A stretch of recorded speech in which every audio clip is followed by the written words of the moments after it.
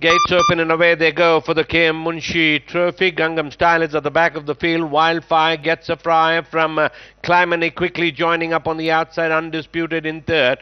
God Zone is in the centre in fourth spot, being tracked there by Shambari. Struck four of the railing as they pass the 800. Vehicles behind is Double Nine making headway through the shortest way. Three lengths behind is Gangam Style. Three and a half lengths behind is uh, Valentino as the pass to 600 and heads turn for home.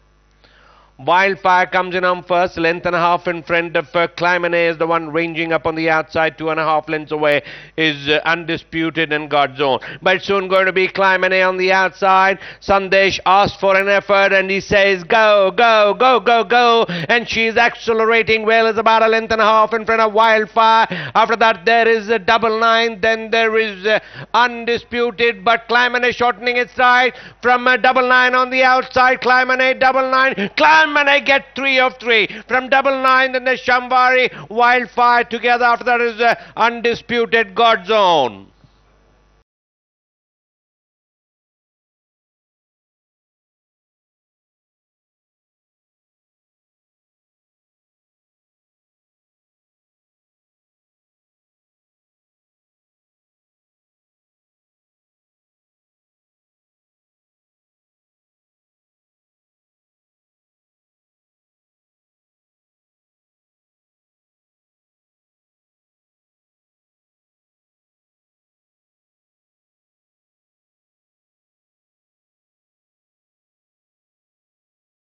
May I have your kind attention, please, ladies and gentlemen?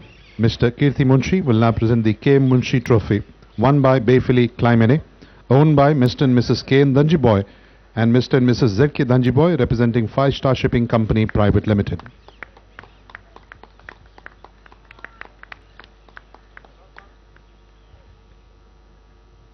Trained by Mr. Faisal. Abbas,